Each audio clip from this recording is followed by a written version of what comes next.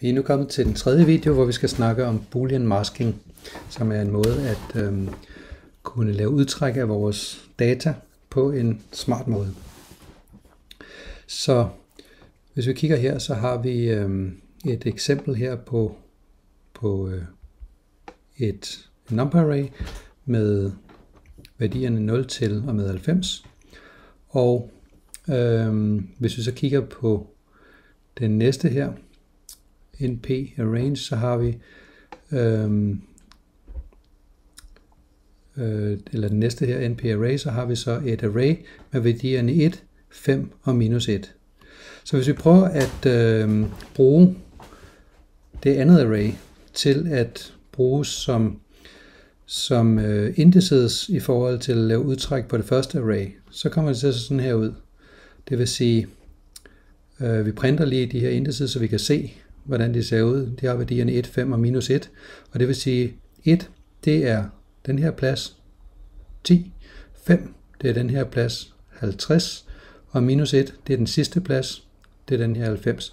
Så resultatet af at sige A, og så de her indices, som vi har sendt ind her, det bliver, at vi får trukket værdierne ud på de øh, pladser, som vi har angivet. Så det er ligesom øh, lidt forhistorien for at forstå, hvordan vi kan øh, lave boolean masking. Et andet et, et, et nyt eksempel her, det er, at øh, vi laver øh, igen det her med linspace, hvor vi tager værdierne fra 0 til 2 gange pi, og vi tager 50 værdier. Så får vi alle de her værdier, der ligger hernede ud. Hvis vi så siger, øh, det er vores x-værdier, dem, det er ud af x-aksen her fra 0 til 2 gange pi, og y-værdierne, der vil vi gerne have sinusværdien til, øh, til øh, de her x-værdier. Når vi så prøver at printe den med x og y, så får vi en sinuskurve flot aftegnet her. Så det er ligesom øh, udgangspunktet for vores eksempel. Det er, at vi har nogle positive og nogle negative værdier for sinuskurven. Så fra 0 til pi, der har vi positive sinusværdier her, og fra, fra øh, pi til 2 gange pi, der har vi negative sinusværdier. Så lad os prøve at se på det her eksempel. Jeg sætter lige nogle linjenummer på her. Så hvis vi siger y-værdierne, det er altså vores sinusværdier. Det skal være større end eller lige med 0 så får vi altså en, øh, et indeks, hvor, hvor vi får den samme mængde af værdier, som vi havde heroppe. Det vil sige 50 værdier.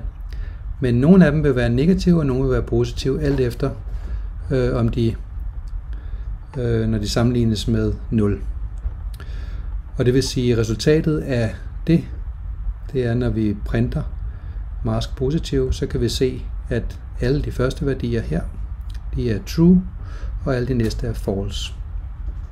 Det kan så bruge til at øh, sige, når vi nu har alle vores x-værdier, og vi har vores indeksværdier her, true og false, så kan vi lave boolean masking, og det vil sige, nu kan vi altså sige, øh, her der vil jeg gerne plotte med øh, blå x'er, det er dem her. Der vil jeg gerne plotte alle dem, alle de x-værdier, som, øh, som har den her true index, og alle de y-værdier, der har true index her. Det vil sige, at jeg får alle x'erne og alle y'erne for de indeksværdier, der er true hele vejen herop til og med pi. Så laver jeg et nyt indeks, en, nyt, øh, en ny øh, mask hernede med alle de negative værdier, og bagefter plotter jeg så dem hvor jeg siger mask negativ, og dem laver jeg så til grønne øh, prikker her. Og det bliver resultatet af det. Så det vil sige, nu kan vi se, hvordan vi øh, kan få den her boolean mask, som vi laver, både som positiv og bagefter som negativ, det vil sige to forskellige boolean masks. Når vi trækker dem ned over hovedet på vores data, vores x-værdier og vores y-værdier, så får vi øh, filtreret dem sådan så vi kun får dem med øh, hvor, der, hvor værdien i vores indeks, øh, vores, vores boolean mask, den er true. Så det er ligesom udgangspunktet for boolean masking. Vi kan også prøve at kigge på et andet slags eksempel her, hvor vi øh, har værdierne 0 til og med 90, og, øh, og ja, slicer dem her, og der kan vi lægge et indeks direkte ind. Hvis vi kigger på C her, så kan vi sige A, hvor A er større end eller lige med 50, det bliver så til C. Så får vi, så får vi vores mask ud der. Ellers så får vi vores mask, den er herinde, og resultatet af det der, det bliver så til C, som vi kan printe ud. Hvis vi kigger på en anden en, så kan vi kan også øh, lave en sammensat øh, Øh, udtryk her, hvor vi siger, øh, vi vil gerne have alle dem, hvor a modulus 20 er lige med 0, det vil sige alle dem, der kan deles med 20, og hvor a ikke er lige med 40. Den samlede mask, maske, vi har her, den bliver til d, og det vil sige, så får vi 0, 20, men ikke 40, og så 60 og 80. Det samme kan gøres med den øh, metode, der hedder where, hvor vi øhm, kan angive np where i stedet for, og så kan vi sige, her der giver vi øhm, masken ind, masken ind, og så siger vi, og det skal gøres på det her øh, data her, og så får vi det samme resultat.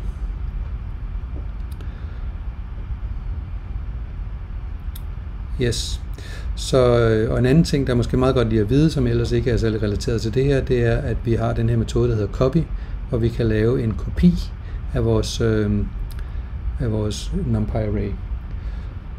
Så øh, det kan være en fordel at kunne gøre, hvis man gerne vil øh, sikre, at man stadig har adgang til øh, data, sådan som det var, inden man begynder at manipulere med det. Så kommer der en lille exercise her, som øh, går på at lave noget boolean masking, og det vil sige, at I har sådan et lille datasæt her, np arrange fra 1 til og med 100, som reshaper til 10 gange 10, og så skal I prøve at putte en maske på, som gør, at I kun får de lige numre ud. Og også prøve bagefter at bruge where til at kun få de numre ud, der slutter på 6. Så det er øvelsen.